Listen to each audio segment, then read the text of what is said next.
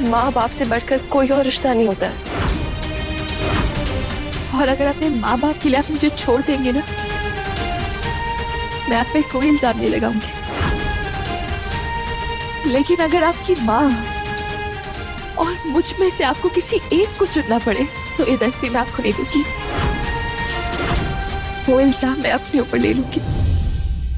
आप भूल जाइए मुझे। और हमारा रिश्ता? उसका क्या?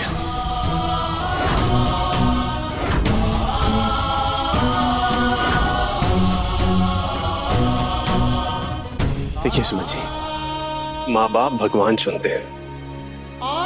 लेकिन जीवन साथी ना इंसान खुद चुनता है।